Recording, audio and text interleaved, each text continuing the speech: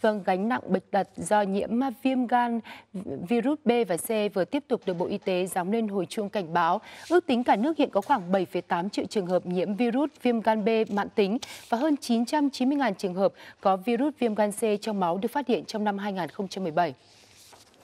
Theo thống kê của Bộ Y tế, tỷ lệ nhiễm viêm gan B ở Việt Nam có vùng lên đến 20%, đặc biệt vùng sâu, vùng xa có tỷ lệ mắc cao hơn do điều kiện chăm sóc y tế chưa thuận lợi. Viêm gan C thì tập trung chủ yếu ở nhóm có nguy cơ cao là nhóm tiêm trích ma túy và nhóm quan hệ tình dục đồng giới. Đặc biệt đáng lo ngại là số người tử vong do viêm gan B và C tương đương với số tử vong do bệnh lao và sốt rét, vượt qua số tử vong do virus HIV và AIDS. Từ thực trạng trên, Bộ Y tế cảnh báo cần tăng tỷ lệ tiêm chủng phòng bệnh, tỷ lệ điều trị bệnh trong cộng đồng để phòng chống những căn bệnh được mệnh danh là kẻ giết người thầm lặng này.